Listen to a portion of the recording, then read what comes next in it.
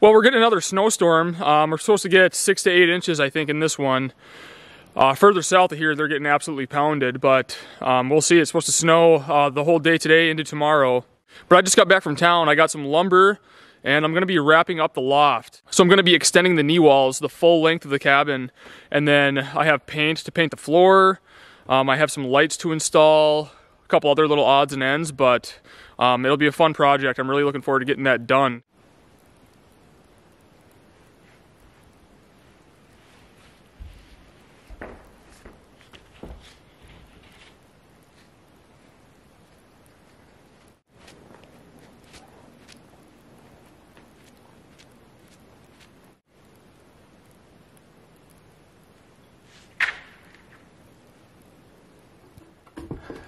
Well, let's head up in the loft. I'll show you what I got going on up here. Still messy. I'm kind of going through everything and organizing stuff, but we're getting there. I got this whole half done, so the knee walls are done on this side, except for paint. Um, but by the end of the day, all this stuff will be out of here. It'll look nice, and the floor and knee walls will be painted. So it'll be quite the transformation. And then I got this half framed up as well. But anyways, I'm going to go outside and rip uh, these last sheets. They're three foot tall. And then uh, get this sheeted in, get the rest of this stuff put away, sweep up, get it spotless in here, and then start painting.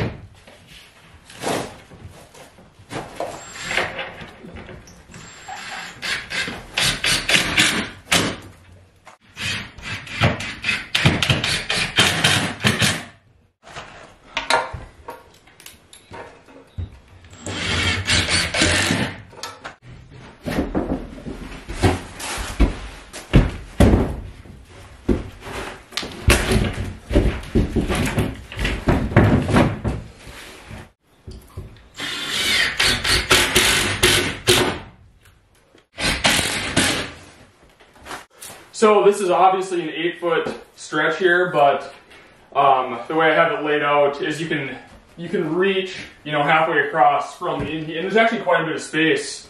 Like I mean, I could crawl in here if I wanted to if there wasn't stuff in the way.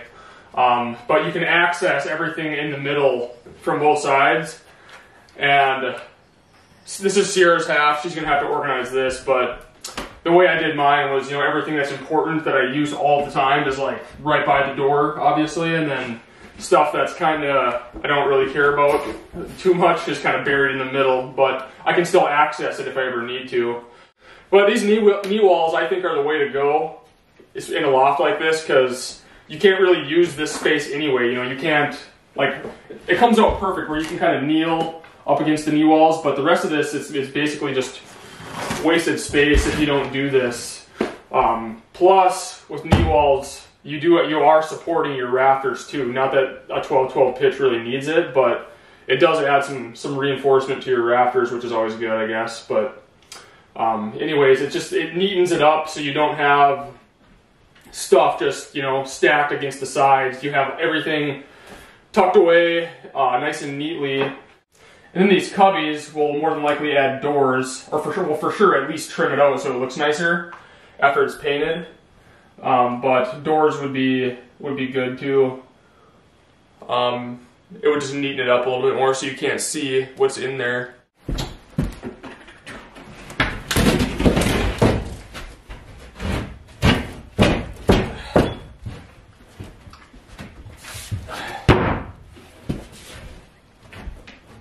Oh, I also, um, if you guys remember when I extended the loft the full length, when I put that center wall in, I had I added two kitchen lights, so I have that wire ran all the way to the panel now, so we can hook those up. So that'll be nice.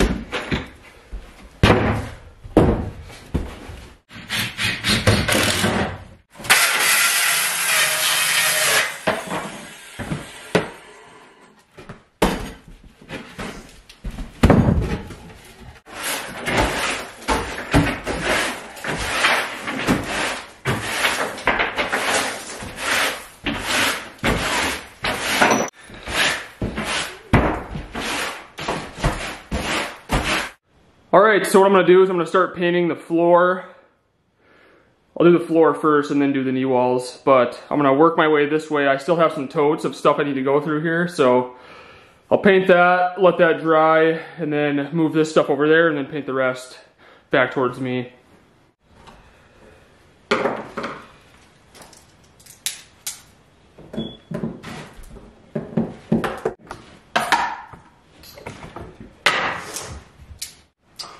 Is uh, chocolate mousse, I believe, is what color this is. Something like that, something mousse. Brown. I'm gonna paint it with this, but we'll probably do something else besides just have this OSB be painted brown. Whether we do like a rug or some sort of cheap carpet or we thought talked about doing that foam snap together flooring. Uh, might do that too. But I was getting, I was for sure painting the knee walls, so I figured as long as I was getting paint for that, I might as well just do the floor too.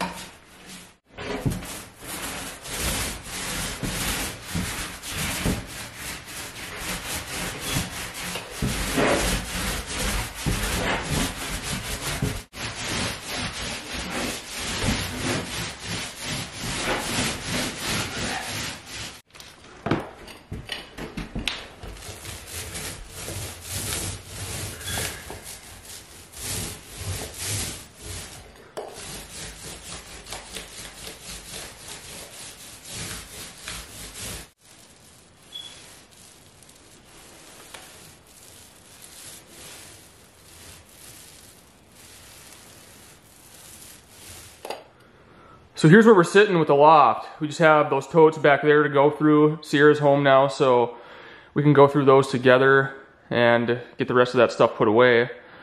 Um, but yeah, the knee walls are pretty much done. I will add doors to these at some point. And I did run out of paint. I was so close. I'm about a pint short. But I'll probably get a gallon because I could touch up a couple spots that are lacking paint. But anyways, there's a lot of space up here. And it's definitely nice having this open. So yeah, a little bit of trim work. Got to put these boards back up. And yeah, she's about done.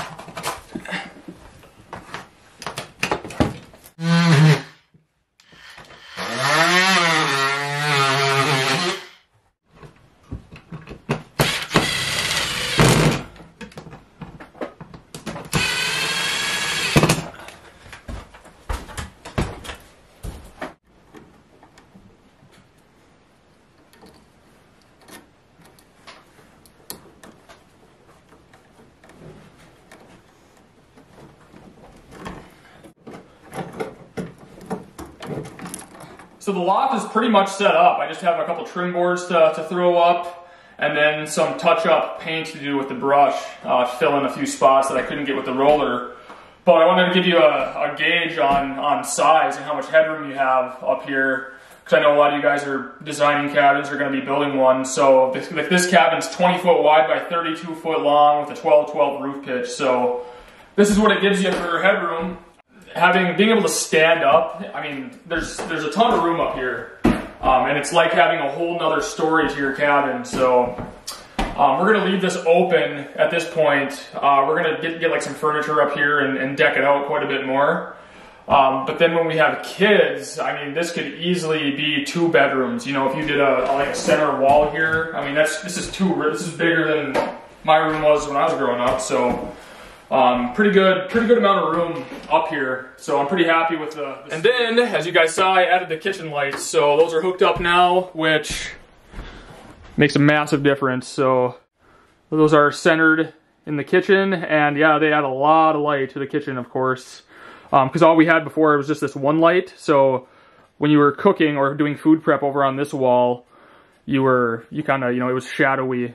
Um, so last night was our first night cooking with uh, with these lights hooked up, and it was, I mean, made all the difference in the world. So definitely nice having those done.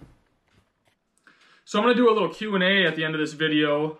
I did a community post on YouTube a couple weeks ago and said that I had one coming up. So a lot of these are from that post. And I'm not going to get to all of them. I mean, there's just no way. So if I don't answer your question, do not take it personally. I'm just picking random ones. But um, I did heart every single post on there. So um, I read it and I will reply to the ones that I don't um, re reply to on this uh, video. But first question from Suzanne. She says, uh, why are you maintaining two cabins? Why not just having and taking care of one, improving and making one nice and comfortable? Uh, do you not find that it's a waste of energy and time slash money consuming? Take care. Love you guys. Thanks, Susan. We love you too.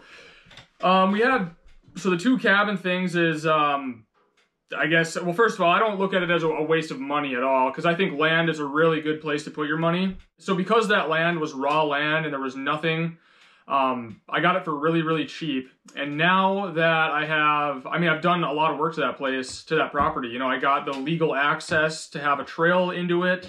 So that's done. Um, I have, you know, an actual address for that property, believe it or not. Um, I have yeah, I cleared a building site, I built a cabin, so I've made improvements to that land. So it's not all for nothing. You know, at any point, if I ever wanted to sell it, I would make a decent profit off it because I put in the work. You know, I've, I've improved it a lot since since it uh, the way it was when I bought it. You know, it was just raw land, like thick woods, a lot of underbrush, and yeah, now it, it has uh, it's set up, you know, for rustic cabin living. Um, so I don't think it's a waste of time, and I, I like being nomadic. I don't like being tied to one place. I like being in the woods. That cabin is very remote. It's hiking only, of course. I mean, there's nobody out there. Um, it's awesome. It's like true wilderness. You know, I have moose that walk right up to the front door. Um, there's bears around. I mean, it's just, it's awesome. And uh, it's a really good area to hunt in, you know, grouse hunting and all that. Um, but mainly, we're just in that area so much because the boundary waters is right there that to me, it's not a waste at all having property there because we use it and use it a lot. Um, and then, and then, uh, so after that, Sierra and I stayed in that cabin. We lived in that cabin for a while, but then it was obvious that, you know, like we were never gonna be able to, you know, raise a family there, do, you know, some things that we wanted to do down the line. So we wanted to secure another piece of property that was not as far out, you know, one that we could actually drive up to and then set it up a little bit nicer. So down the line, you know, when we have kids and have a family, you know, we have that kind of secured. Um, so that's what this place is kind of about. This is our, our main cabin that we live at, spend most of our time here, but then we spend a significant amount of time at the log cabin as well. So um, I don't look at it as a, as a waste. And yeah, I guess we're just nomadic. We like uh, bouncing around. This one's from Mountain 10 Hunting Club. He says, any movement in the cabin foundation so far? I'm in the process of building my cabin and used your cabin build videos as a guide, so I'm curious if you've had any frost heave. Thanks. I have not had any. They're still sitting, I mean, I haven't, I guess I haven't went and put a level on them or anything, but I'm underneath the cabin quite a bit because I have stuff stored under there and we have, uh, we have our stove hooked to a 20 pound propane tank instead of a 100 pounder uh, just because I like, you know, I have those laying around and they're just so easy to grab and tote around and um, yeah, just go get them filled. So um, I have to switch those out about once a month, month and a half, depending on how much we're here and how much we're using the stove and oven. But yeah, I haven't, uh, all the beams are resting on them still and they all look same as they did uh, when I installed them. But maybe this spring I'll do a, a follow-up and show you underneath there and uh, we'll have a look at them and see what kind of movement there was, if, if there's been any. Uh, like I said, to the naked eye, I, it doesn't look like there's been any at all. Um, but uh, this spring will be two full years of you know freezing and thawing, so we can get a, a gauge. But um, they still look good. I'm always keeping an eye on um, on them, and yeah, I, I haven't seen anything alarming yet. So a big reason that we did our uh, foundation that way and just put it on blocks is when I got my permit for the cabin. They said so. They asked what kind of foundation I was doing, and and because uh, you know you can do like you can pour a slab, um, and then build on top of that. You can do sonotubes and all that. But if you were doing any digging or pouring a slab, then you had to have it like inspected, and it was like a little bit more to the permit process. But if they're like, yeah, if you're just gonna throw it on blocks or cinder blocks or whatever, and not do like any digging or pouring any concrete, um, then it's like not a big deal at all. So I was like, all right, I'll go that route. Um, and I felt pretty comfortable doing it because my grandpa has a, a cabin that he built like 60 years ago that's been sitting on just chunks of railroad ties for that entire time. Um, so that that never had a permanent foundation. It's just sitting right on the ground basically with uh, railroad ties on all four corners and then one in the middle. And that cabin is a 16 foot by 24 foot cabin, and yeah, there hasn't been any issues with that. I mean, it's settled a little bit, but no matter what you do, a, a building's going to settle.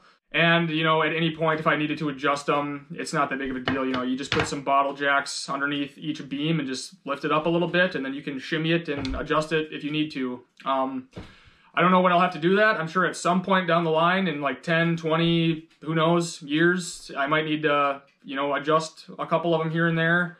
But that's not a big deal to me. I, I like projects and having things to do, so uh, anyways, I did it that way. I'm not saying that's the way to go. It's definitely not you know, like the best way to go, but uh, it's worked out for us so far.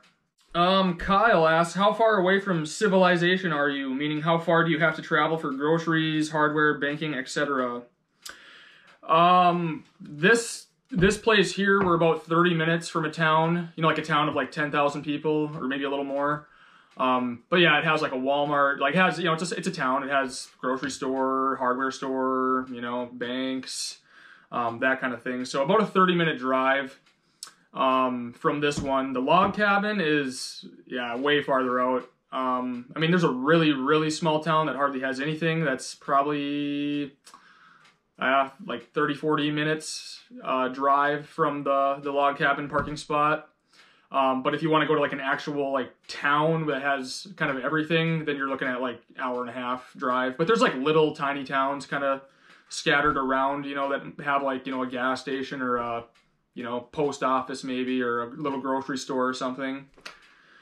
Um, but yeah, this place is not like I would not consider this cabin remote. Um, like we're rural, like we're we're way out, we're out of out of town. Um, but there are people that like live in our area, so this isn't like wilderness, but there's a lot of national forest land around us, so you do feel like you're kind of out in the middle of nowhere, um, especially during the winter here. Um, but like I said, you know, this is cabin country, so like there are people that have cabins around here, and like there's lakes around. And so during the summertime, um, on the weekends, it is a little more busy around here. Like you'll hear like four wheelers and stuff, or you know, like people buzzing up and down the road, or people going to their cabins.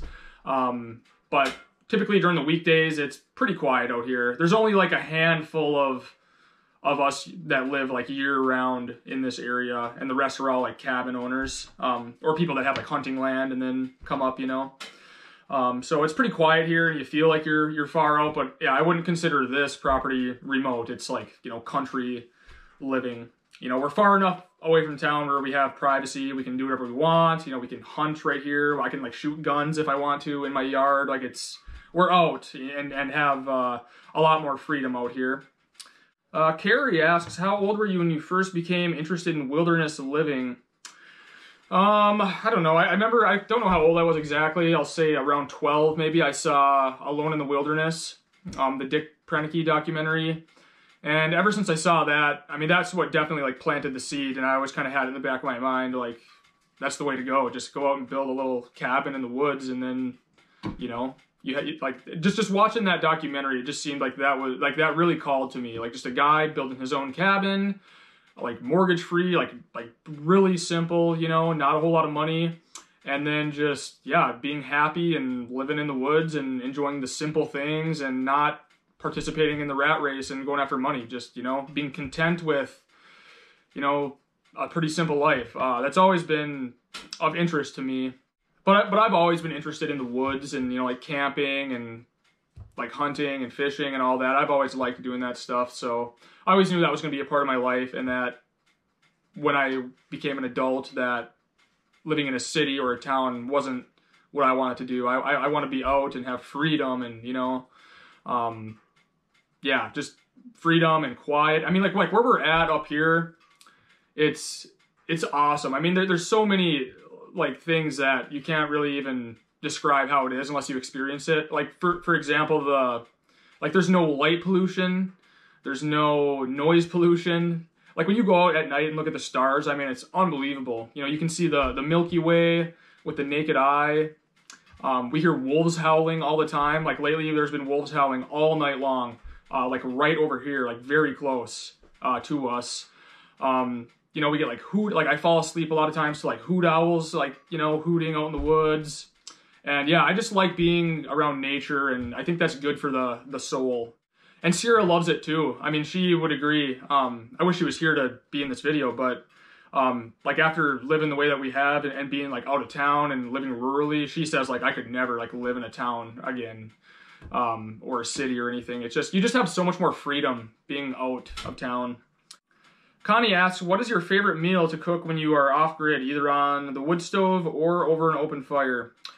Well, in my experience, everything tastes better over uh, a fire. Like open fire cooking is the best. Uh, but I would say, I don't know, we do, we cook a lot of stuff over the fire. Um, like a good ribeye steak is awesome on the fire. Pretty tough to beat that.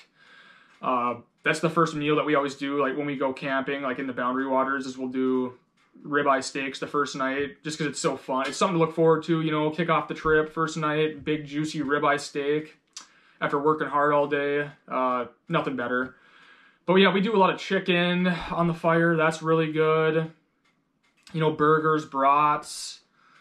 Um, yeah, anything anything tastes better on the on the fire. And then uh, as far as on the wood stove goes, we like doing roasts, stews, soups. You know, because the wood stove is just so good for like setting a kettle on it and then just walking away and letting something simmer all day. You know, um, so soups and stews are and roasts are really good on the on the wood stove.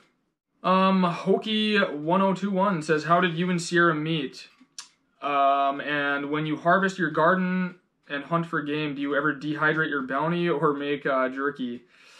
Uh, Sierra and I met in high school, so we're high school sweethearts, known each other a long time.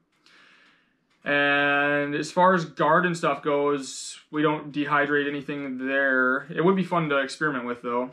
Um, but we do make jerky out of our deer. You know, we, we do that quite a bit. We didn't make any jerky this year. Um, but yeah, and my dad has one of those like nice grinders that has like you can make sausage out of it. Like so, we'll do like breakfast sausage sometimes. Um, yeah, jerky. You know, you can do like summer sausage in those things. Um, you can do sausage links. So yeah, we do we do that stuff, and that's nice because a lot of times, like with uh, with deer hunting, like we and we butchered ourselves, we always have, and we do a lot of burger, and it it kind of gets boring, kind of having like I mean you can do a lot with burger, it's really versatile, but having you know like jerky or sausage is definitely nice because it gives you a little more variety. But uh, this year, so we bought that uh, that cookbook from uh, Meat Eater, Steve Rinella, and when I butchered up my deer I got this year, it, it took me a lot longer because I was following this cookbook and I wanted to do a lot of the cuts that he he does, you know, because so then I can follow the recipes. So I did a lot of stuff that I've never done before. We did like a neck roast, um, which normally I would just grind that up and, and throw it in the burger pile. Um, we did a blade roast, so like the like the, the shoulder blade. Um, we did a blade roast that was excellent. Um, and normally, again, I would just trim what I can off of it and throw it in the burger pile and you know grind it up and package it. Um, so it took me a little bit longer to kind of you know do things according to this cookbook. But everything, I mean, if you're a hunter, that like I highly I highly recommend uh, his cookbook. Everything that we've had out of there has been awesome. Uh, Renee asks, okay, I know this is corny, but have you ever had a Bigfoot encounter? I have not. No, uh, I don't. Um, I know there's a lot of people that believe in Bigfoot, but I I personally do not. I'm pretty open minded though, so I mean, if I saw one or whatever, I wouldn't be. Can't say I'd be all that shocked. But yeah, I don't know. I spend a lot of time in the woods, and I, you know, know people that spend a lot of time in the woods, and I read a lot about people that you know, trappers and mountain men and Native Americans. And all, I like that's the kind of stuff that I like reading and studying and stuff. And yeah, I, I you never come across anything about Bigfoot in, in those books, but it's possible. It's definitely possible that uh, he's out there, but uh, it's the last thing that I worry about out in the woods. That's for sure. Uh, Barbara asks, "How far apart are your cabins?" Uh, they're like, I, if I leave, I can be at the log cabin in about an hour and a half.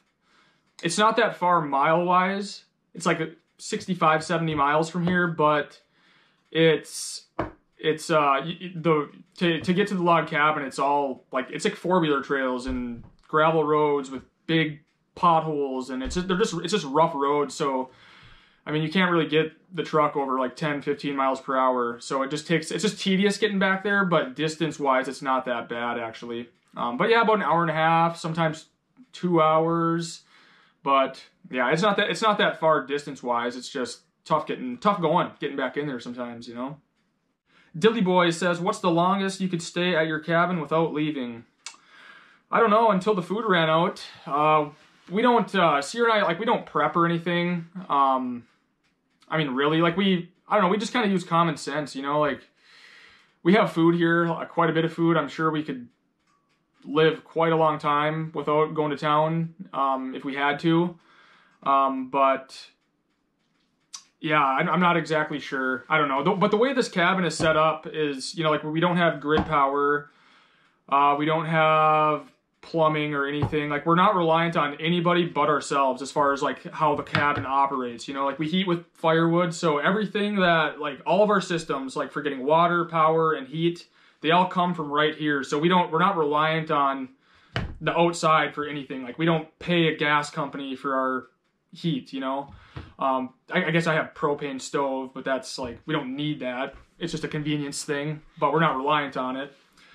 Like it wouldn't be the end of the world if that ran out. Um, there's lots of ways to cook, you know, it's on a fire or on the wood stove or whatever, but, um, yeah, we could stay a long time. Uh, I don't know exactly, but we're really independent here. Like the way when people ask like, oh, like how self-sufficient are you guys or whatever? we're not 100% self-sufficient. I don't believe anybody in the world actually is. Like you still need other people for things. Um, but if put it this way, if the world ever like went to crap and, and it was like the, you know, if things hit the fan, as people say, um, Sierra and I, like nothing would change here at all. Everything would like life would go on just like it is right now because we're not dependent on anything from the like the outside i guess or town really to to live our day-to-day life and go about our tasks other than like yeah we go to the grocery store and get food you know um, we don't you know we don't uh, eat nothing but wild game. Like we'll buy some meat from the butcher in town. Um, but if we had to like stay if, if it ever got to that and like we had to stay here we could stay a really long time. And if it came to where, you know, you could, where I had to hunt or fish, I think we do pretty well. Uh, so here's the thing with like living, like I think a lot of people with off-grid living and self-sufficient living is they, a lot of people have it like in their mind, like, oh, I, will just go out and I'll hunt all my own food and, and fish and, you know, I grow my own garden and all that. And, and, you know, I don't need any, I don't need any contact with anybody and just be 100% self-sufficient. Well, with hunting and fishing and all of that, the thing you got to realize is nowadays you have to follow the laws. Like you need a, a, license to do that, like to hunt. You need a license to fish. There's limits on how much you can get, right? Like if you, a lot of zones in Minnesota, it's buck only. You can only shoot an adult buck. Um, we're in a either or zone, so we can shoot a doe or a buck. Um, I think we can actually get two deer. I'd have to look uh, next year. I think we, we're allowed to take two. But anyways, um, you have to follow these laws, right? Um, where people in the past, like like you know, a couple hundred, three hundred years ago, that were really living off the land and living in a rural environment, it was open season on everything, pretty much. You know, like the Native Americans, like they were opportunistic. They didn't oh, they, they weren't, you know, like, oh, we are only going to shoot a deer in November, you know, like if the opportunity pre- presented itself, they took it. So it, I'm saying it's not, it was a lot easier. Still, it's not easy to live off the land like that, but it was a lot more doable back when there wasn't regulations and laws and stuff. Because now you have to follow that stuff, right? You can't just go out go out and catch as many fish as you want. Um, where, to my understanding, like reading mountain men tales and like Native American stuff, like if the fishing was good, they didn't stop at oh we got three fish that's enough for dinner. I mean they put the smack down on them and they put up a lot of fish, you know, for like the year. Like they would hammer them and then they knew how to preserve them and all that. So you could put up a lot of food at once. Where now, I mean, you'd be doing some serious prison time if you like went about it that way.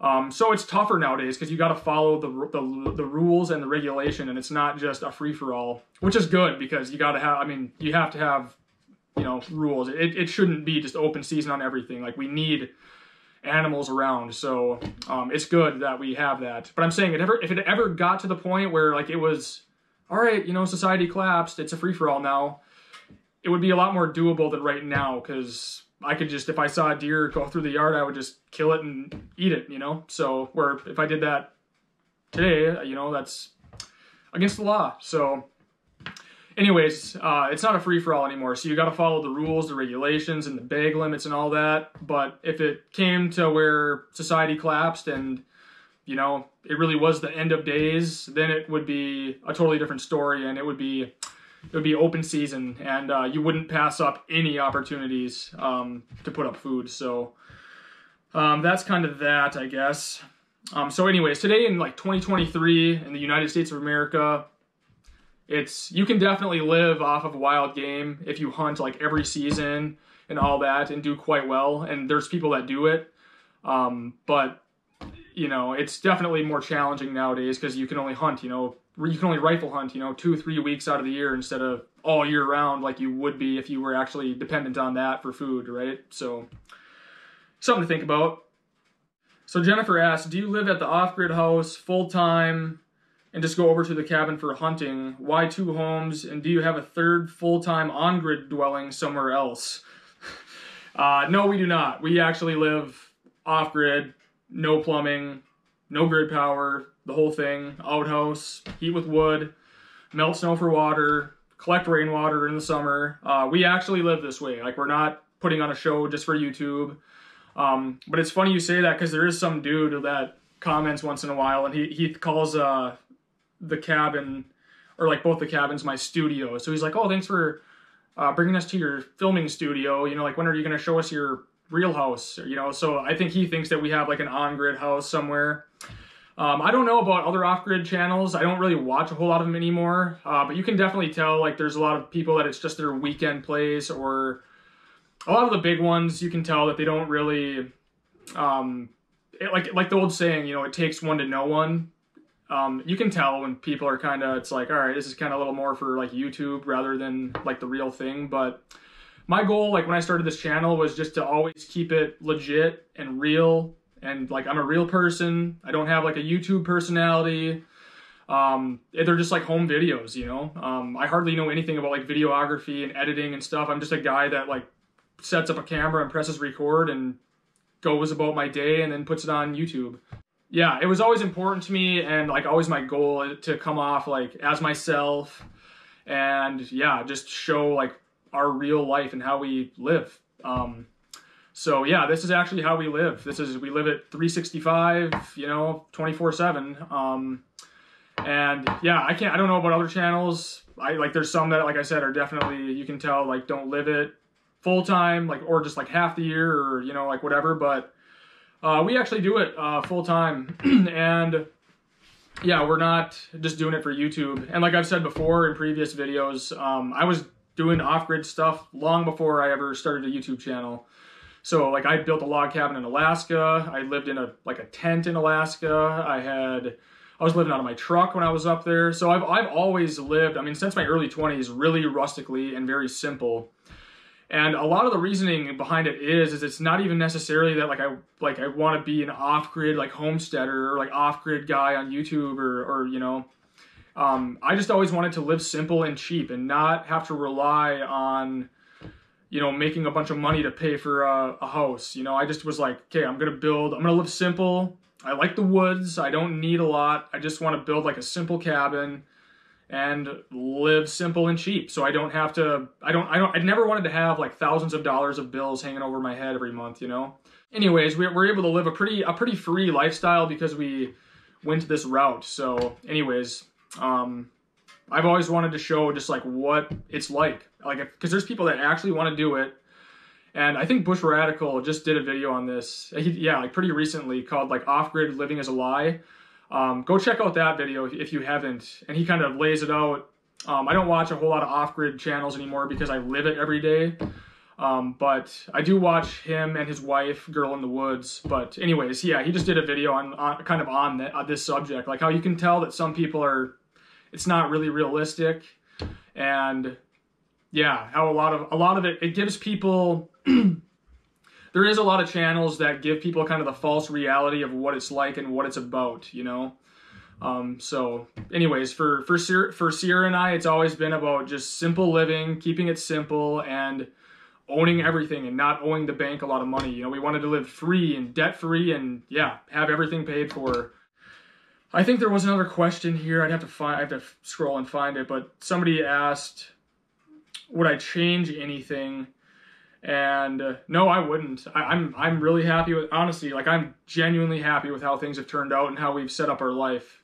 Um, because yeah, we just have a lot of freedom and it's not for everybody. Not everybody wants to live in a cabin in the woods and not have plumbing and all that. But it's set us up pretty nice where we have we own everything. We don't owe the bank a lot of money, and we can stretch a little bit of money a long ways because we don't have like a big like mortgage over our head every month. You know. Um, Kim and Frank asked, "Do you hunt?" Uh, yes, I do. I hunt deer, grouse. I've hunted ever like just about. I mean, most things for sure. Like I've turkey hunted, duck hunted. I do all that. I, ha- but mainly the last couple years, it's just been deer hunting and grouse hunting. Um, pheasant hunting a little bit here and there. We'll go down to southern Minnesota and, and pheasant hunt, but um, I've really been getting into bow hunting. Um, that's a great time of year to be in the woods, you know, and then your season's a lot longer. So uh, grout or uh, deer hunting with a bow gives you a much longer season. So that's a lot of fun.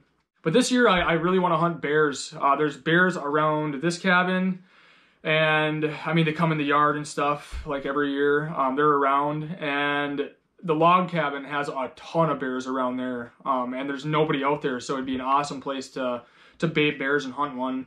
And um, bear meat, I've never had it, um, but people say it's really delicious. You get a lot of fat off of it, and there's yeah, there's plenty of black bears around the log cabin, so it would be fun to try to take one of those and uh, put up because you know a bear's a big game animal. You know, it's a lot of meat, so uh, I want to try to try to bear hunt this year, but there's a lottery for it, or you have to like apply for a, a tag, and then there's like a lottery, and you get like randomly selected and and that sort of thing. So I'm hoping I get one this year. If not, they do do like an over the counter thing, so maybe I can get lucky and get one of those um, after the um, lottery. But we'll see. I want to bear hunt this year. That would be um, that's that's uh, like the last thing that I haven't done yet that I would like to to try. Uh, Glenn says, I noticed that no matter how cold it seems to be, you don't use curtains on the windows. Uh, you must lose a lot of heat by way of the glass. Yeah, probably. But, um, I don't pay for heat, you know? Like, it's, we have the wood stove, and it's, as long as I got firewood and the stove's ripping, it's pretty nice in here. Um, I'm really bad about keeping it going at night, though, because I just get, yeah, I just go to bed and it doesn't bother me to wake up to, like, a kind of cold cabin and then get the fire going. But uh, Sierra's been getting a little uh, annoyed with me lately because, I mean, last night it was minus 20 and let the stove go out overnight and we woke up in the morning and it was definitely nippy in here. Um, but yeah, I don't have a heat bill other than hard work, I guess, getting the firewood. So I just, I don't know. It would help a lot. I should do it. A lot of people shrink wrap their windows or put like that saran wrap or whatever it is, you know, and that helps a lot. Um, but who knows? Yeah, maybe I'll, I should try it sometime and see how much of a difference it makes. Always Prepping says, Do you have an on grid home somewhere? No, we do not. We live between the two cabins all year round. And when we're not, so with the, the two cabin things and living off grid full time, so this is our main cabin, no plumbing, no grid power, you know, the real, like pretty rustic. And then when we're not here, we go to our cabin, which is even farther out in the woods, away from all that stuff. And then when we're not there, we're in a tent, like we we go camping. Um, this year we have just Sierra and I will have like 42 days in the Boundary Waters this year, this summer during paddling season. So that's you know a month and a half basically living in a tent. So we live in off-grid cabins year round, and then when we're not at those, we're living in a tent, which is even more rustic. But I've often said that, and I'm not even kidding. I mean, personally, I think that like Boundary Waters camping which is where you know you load up all your stuff in a canoe and then you go out on this chain of lakes that's true wilderness like no phone service not any people. Um, and it's just it's camping. Um, that i would say that that is actually more to me it's actually easier living that way than living like here where we don't have a well and collecting rainwater and melting snow and all that. Because in the boundary waters you're you're there's water everywhere and it's the water's so clean that you can go paddle out to the middle of the lake and dip your cup in it and drink it without even filtering it. Like that's why the boundary waters is such a special place and why it's so awesome is it's it's clean water. And yeah just having water right on demand there like being able to just dip a, a cup or whatever right into the lake and drink it or what you know use it for washing dishes that's everything. That's the thing that a lot of people really overlook when it comes to off-grid living and a lot of people have asked what if there's one thing that like I, I miss about like on grid living it's it's water. Like having water on demand being able to like turn a faucet or like dipping you know like having an unlimited supply of water is the best thing in the world. It's it's everything. And when you live this way and you have to melt snow for your water or collect rainwater and it's not really a guarantee that you have water and it's very labor intensive to get it um, yeah you do not take water for granted. So in a lot of ways, living in a tent out in the middle of the woods on a lake is easier than living in an off-grid cabin if you're not on a lake. So, so yeah, water's the number one thing you got to figure out if you're looking to do off-grid living. Probably when it's all said and done out of the year, I'm basically splitting time between living in a tent in the woods and two cabins because I just like being nomadic. I just like not being tied down to one place and I just like adventure and to me camping like I, my biggest passion in life is the woods and wilderness and going on adventures. I love that you know like that's more so my passion than off-grid cabin living. Off-grid cabin living just so happens to match up very well with the lifestyle that i want to live because i love being in the woods. So um, people have asked like oh is this turning into a camping channel or whatever? Because i show some camping videos once in a while but no it's not. There's always going to be cabin content and stuff um, but I love sharing the camping and that stuff because that's what that's my thing. Like that's my hobby, and that's what I spend all my free time doing.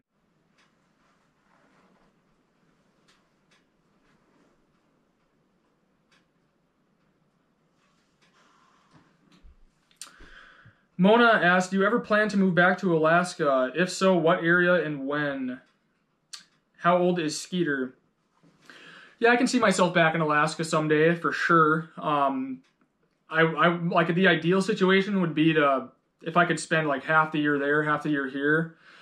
Alaska is one of those places, man. Like it doesn't get much better than that. It's the most beautiful state. There's a ton of freedom there, and it's really hard to explain it unless you've lived there. It's just it's just different. It's it really is the last frontier. Um, yeah, a lot of freedom, and just it doesn't get much prettier.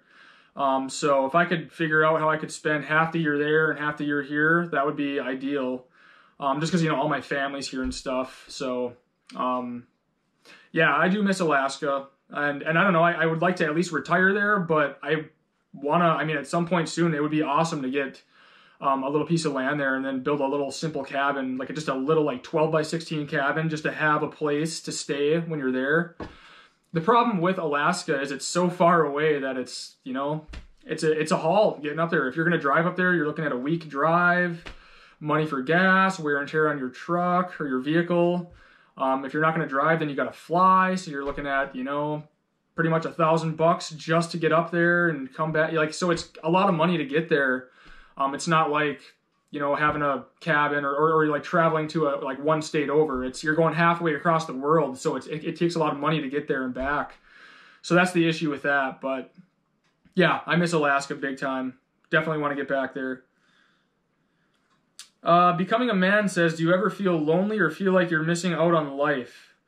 I do not. No, I think I think I could flip that question back at a lot of people. I think a lot of people are missing out on on this life. You know, not not that a lot of people want to live in the woods, but yeah, I, I can't do the concrete jungle. I really can't. Like, I just I don't feel comfortable in a city or like a town.